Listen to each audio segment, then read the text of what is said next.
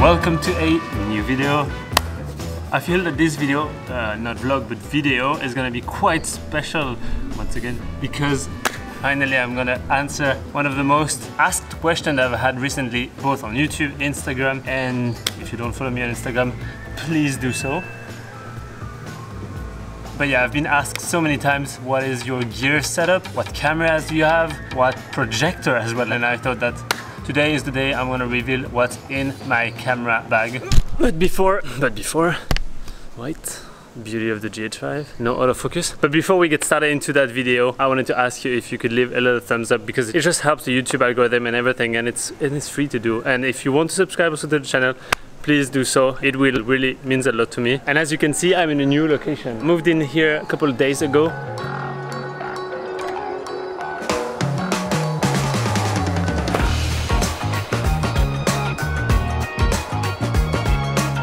Villa Sorgas and I'm sure you know this place from the vlogs that we did back then with Yoon. This place is owned by Jacob, one of my best friends and he's the co-founder and CEO at Tampa Hills and this has been his home for the past six years so yeah, so happy to be back here. But yeah, I moved in a couple days ago and I finally managed to get all my gear sorted in my wardrobe and everything which I love to do when I check in in a new place. And today I thought that why not maybe now that I have everything sorted I can finally reveal and show you guys absolutely everything about my actual 2021 video camera setup and live setup in general. Yeah, let's get upstairs, get all the gears, bring them down, and then I can show you everything. So as you can see, I have all my gears set up here. I think soon I'm gonna head back to Europe because I have a couple of things that I need to do back in Europe, but I will come to this a bit later. Let's take everything, go down, and get this thing started. How supposed to do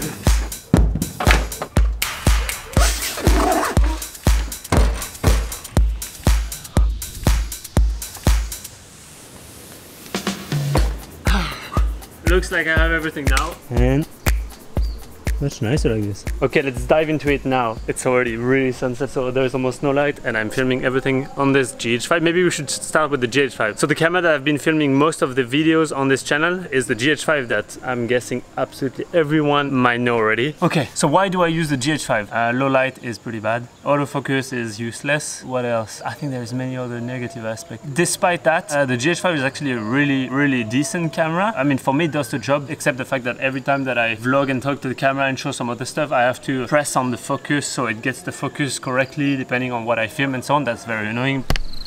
Right. beauty of the GH5.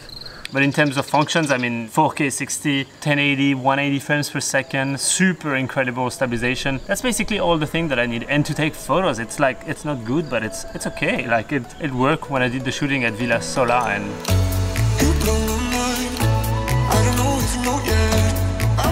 if you haven't seen, it's in this video up here. Yeah, I mean, it works. It works enough, but soon I will change. And yes, it's gonna feel really good to have a proper autofocus and low light camera. I don't think I'll actually tell you directly now which one I'm gonna get, but let me know down in the comments if you think you know what it is. If I tell you it's incredible for photos, for videos, and it has insane low light, and it's not the Canon R5. It's not Canon, sorry Canon. I like you guys, but I wanted to try something a bit different. Let's move to the next ones. Ah! So what do I have here? This is something that travels absolutely all the time with me. That's where I put all my SD cards in. Uh, this is the micro from DB and I'm pretty sure this is completely sold out. That was the thing we released last year. This is where I put my SD card and micro SD card. Then let's start with the GoPros. But before I show you my GoPros, and especially one of them that is kind of a secret GoPro that I've never shown before, let me introduce you to today's sponsor of the video, which is NordVPN. So you don't know what a VPN is? I'm pretty sure you know by then if you watched my videos. Previously I've worked with NordVPN in the past. VPN stands for Virtual Private Network and basically what it means is it secures your internet traffic, encrypts it and reroutes it to a different server while changing your IP address. Yeah, so then you you should be fine. I've actually been using NordVPN for the past years now, and that was actually way before they contacted me to sponsor those videos. Yeah, I've been using it a lot, both when I'm traveling or even when I'm back home. It allows me to get access to everything that I need to anywhere in the world without having issues to like, we all, all had the issue at least once where we cannot get access to something specific, and by using NordVPN and just changing your location, then you can get access to it. Whether I want to access, for example, my bank website when I'm not at home, if I want to watch series and I'm, for example, in France and I wanted to get access to the US ones, and same when I'm here, for example, in Indonesia, I don't have access to some websites, same issue, NordVPN, Thank you so much. And it's also the fastest VPN out there and it works on iPhone, iPad, Mac, Windows, Android, basically everything. And now, now, right now, you have the chance to get a really nice discount because they're offering 73% off and four months for free. And the only way to get this deal is to go to nordvpn.com slash Benny Ortega or to use my coupon code, which is also Benny Ortega, and then you can get access to it. But now let's go back into the video and let me show you what this secret GoPro is. I have two GoPro Max, so the 361 that I absolutely love. One of my favorite camera of all time because you can shoot stuff, not think about the framing and think afterwards, which I kind of really like to do, so I don't have to overthink. Then I have three Hero 10, the one that just got released. If you haven't seen my video that I just posted before, here it is. It's one of my favorite videos so far. So then we have three GoPro 9s and two GoPro 6. And you might be wondering, why would you travel with a GoPro 6? This one is a very special GoPro. I'm not sure if I should tell you what I actually do on that one. Because this, I mean, no, this video is about not keeping any secrets. So I will tell you what I do with this one. So this, ladies and gentlemen, as you can see, it's written here, it's my Macro One. This is the actual GoPro I've been using to all my recent super macro shots. For example, when I did the video about my ROG DB watch. Also when I filmed the recent super close-up of the cats and everything for the last GoPro videos and also that praying mantis. Everything was shot on this. I'm not gonna show you exactly how this works, but this lens is actually unscrewed from its thread. And because I've been doing this, it unfocus the actual focus, wow. I tweaked it so the focus is not what it is supposed to be, but the focus is on close-up. So yeah, combining this plus the slow motion that this camera can record, plus the stability and all that stuff, I really like the creative angles that you can get with yeah such a tiny setup. So this is why I travel with a GoPro 6. And this is my other GoPro 6 for the mini drone that I have on the other side, which I will tell you a bit after. On to the next ones. So for the GoPro, I have a bunch of accessories, but I didn't place anything here because it would have been such a mess. The one that I've been recently really using is this dome which is I think the brand is called Telesin I used to have a G-Dome from my friend Chris Roger. Big shout out to you. Thank you for sending me the G-Dome. But I actually smacked it and it didn't work anymore. So I bought this one online recently because I wanted to do some videos uh, with the Hero 10 so yeah now I have this one on to the next part. Oh, can we take a second to admire this sunset that is happening? It's getting pinkish on the sky, which means it's getting dark and I'm getting stressed because GH5. Here I have something that I've been having in my backpack for quite a long time now. It's the OmniCharge. Uh, I have no idea of the ref, but if you Google OmniCharge, I'm sure you will find it. Uh, it's a power bank that also powers a direct AC outlets, as you can see, which is pretty cool because then I never run out of power, especially when I'm exporting and this one is dying. This is something random to show you guys, but as you can see, USB outlet. And this is something that really excites me because it is so freaking fast. It has three USB-Cs. I can charge the computer on it, for example. So this is very handy. I love it. So I can charge everything. On to the next ones. It's getting really pinkish now. I always travel nowadays with two phones because since I'm not going back home for a long time sometimes, as now, for example, I've been here for almost five months, I travel with two phones in case I lose one, whatever happens to, I still have a spare one and this one is the iPhone 12 Pro Max. I might get the 13 soon when I get back home because I think for video purposes it could be really really good. I've been seeing lots of reviews lately and this is a smaller one which is the iPhone 11 Pro I think. Pretty good one too. One of the questions that have been asked the most is about this little guy. Yes, the question that I've been asked the most recently on Instagram. Each time I've been posting about the fact that I was watching a movie with my mini projector that is battery powered and everything. I mean, yeah, it sounds very attractive. So yeah, this is the actual one that I've been using recently. It's from Polaroid. I have no idea the exact model. On top of that, it is, as you can see, covered with some Velcro. So I cannot even tell you, but it is from Polaroid. But I would definitely not recommend this one because the battery is a bit limited. It's like just about to watch one movie and this thing dies. Also, it runs on a very old Android OS, which is pretty bad. Like nice with the remote, but still it doesn't really work smoothly. YouTube doesn't work, Netflix doesn't work, all that stuff doesn't work. So I would not recommend this exact one, but if you just Google battery projectors or things like this, you can find so many new ones. Yeah, this is pretty sick. This is something I've been using very often recently. Plus this speaker that I've always also traveled with. I think it's the Bose SoundLink something like this. It's pretty big, but yeah, if you want to project a nice movie and has some nice bass into your sound, then this is the one to go to. This is getting really dark and we're not even halfway. I mean a bit. This is also something that I've been asked quite a lot on. How do I do my moving time lapses?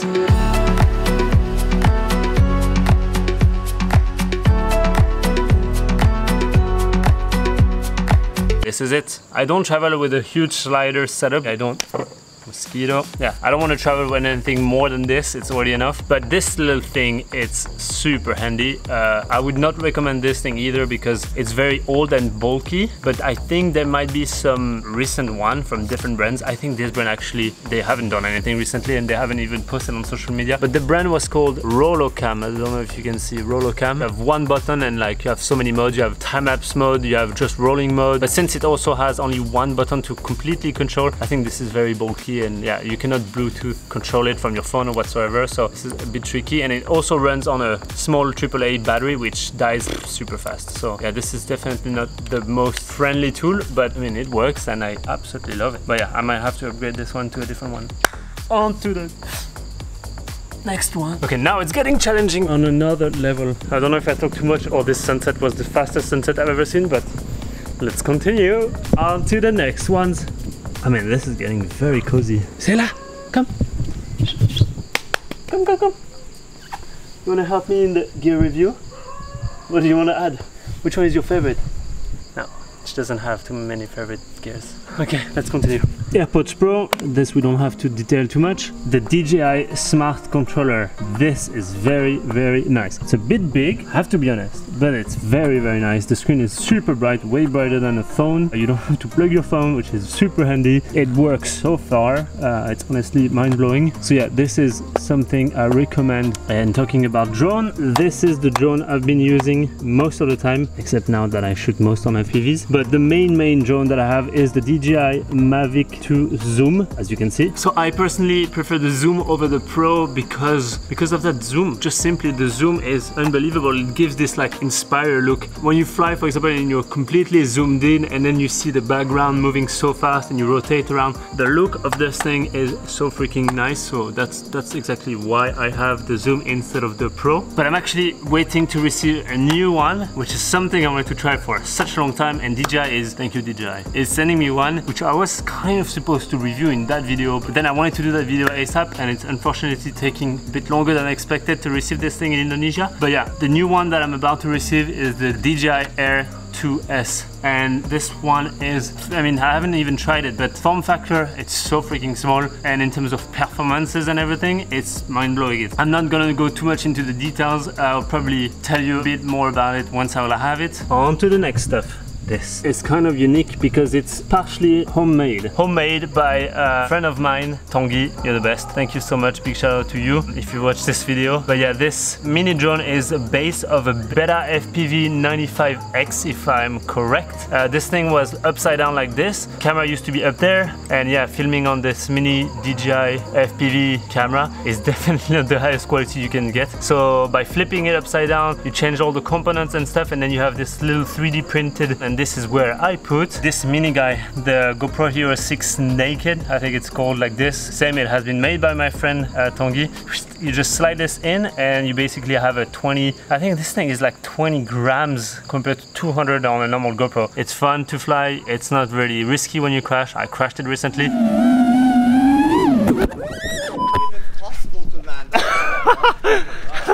How is that? What? How? Did I manage to land on that thing? literally just on that thing. Yes! Oh, Okay, let's fly. Oh no, it's actually smacked. And I managed to change some of the 3D printed component myself. And the beauty with this one is that it's so small you can fly it almost anywhere, like honestly anywhere. And I've been, that's the one I've been using recently.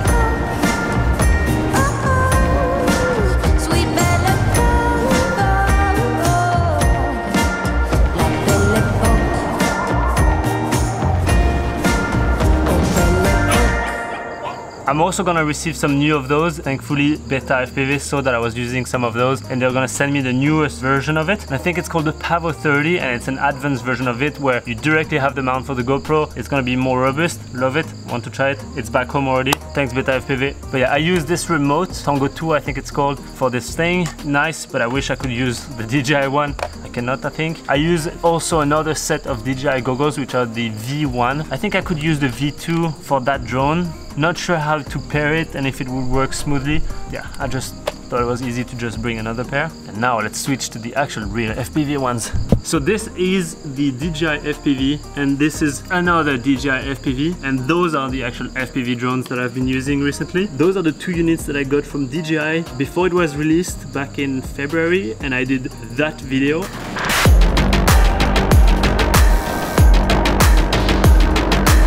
And since then I've been traveling with these two. I haven't crashed them. I think I haven't crashed them once. Touch wood.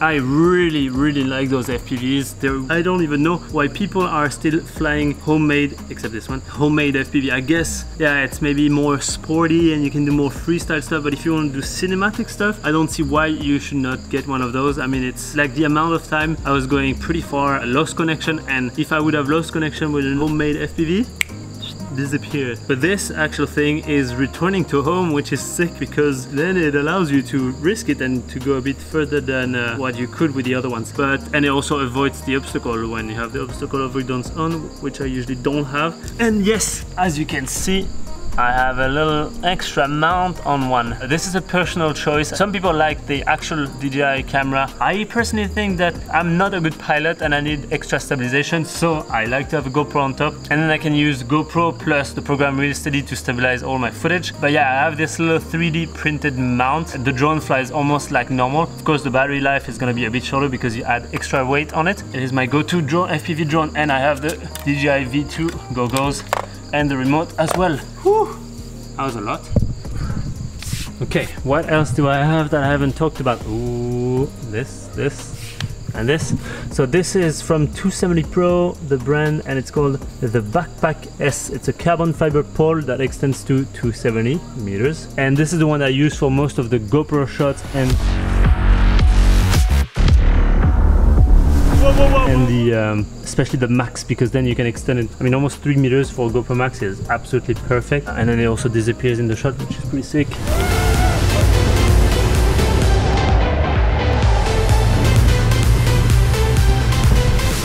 This is a pretty sick, super small uh, dome I've been using from Ikelite and this little thing is the one that I've been shooting all of those shots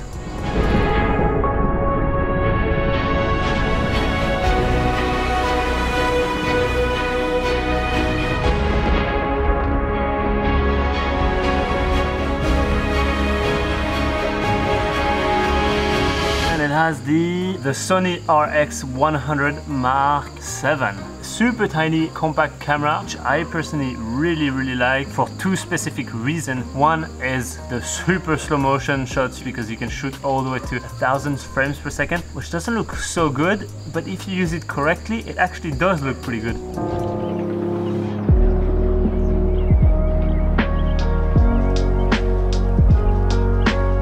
yeah, this has been shot at a thousand frames per second on this thing three years ago. And the second thing is that it can shoot 120 frames per second at full HD with pretty smooth autofocus. So there's not so many actual camera setup that have this underwater. So yeah, this is why I use this little underwater setup. And it also is pretty good for photos. On to the next one. Ugh.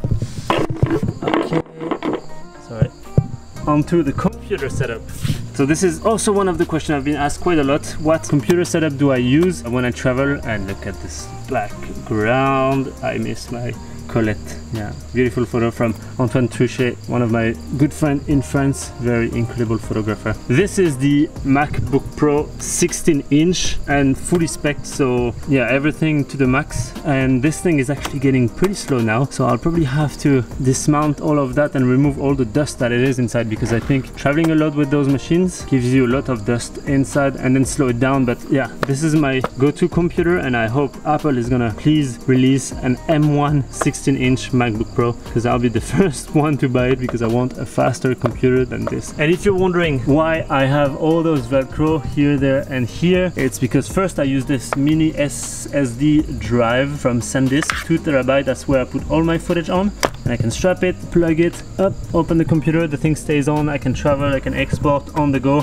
This is always good. And also, this is one of my biggest prides, so I feel that I have to show you. Because I have this projector and I don't always have a tripod with me, I put some Velcro in the back, put some Velcro on my computer, attach it together like this, and then you basically have a tripod on the go and you can angle it in different ways. You put something under boom you have your projector on your on your wall or you can even and that's my best trick. You can place it like this vertical and then and then you lay down and you watch your movie on your ceiling and that's when you're in bed and you watch a movie facing up. Let me tell you it is the best setup to watch a movie. And last but not least and last but not least, I'm actually not sure if I can tell you about this one. I mean, you know the shape. It is a DB Hugger 30 liter, but this actually you need is a very special one.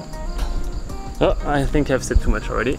I've been working on something very special with DB over the past few months, which I'm probably going to tell you in the next couple of videos. Uh, but this is something quite unique uh, that has not really been done before at DB because it has one special feature that makes it way better in a really good way, if you know what I mean. So yeah, I'm probably going to tell you more about it later.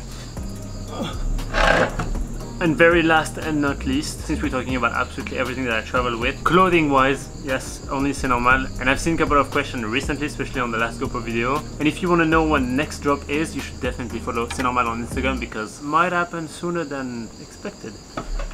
So yeah, I hope you guys like this very different video. It was very special for me to finally reveal what I travel with. And I have to be honest, I am very looking forward to change this setup and also to get something that I've been wanting to get for a very long time, which is a good slow-mo camera. I don't know if you've heard about this FreeFly Wave, 420 frames per second in 4K. So yeah, hopefully in the next couple of months I'll be able to get my hands on one and finally shoot some real slow-mo stuff. Thank you guys so much for watching. As I said again, please give me a little thumbs up if you thought that this video was useful and if you aren't subscribed yet, it's good for the algorithm and it's good for you to not miss out also the upcoming videos, which some of them in the next few days are gonna be very exciting. You will see. I hope everyone is happy, healthy and having a good time. Yeah, until then, see you in the next video.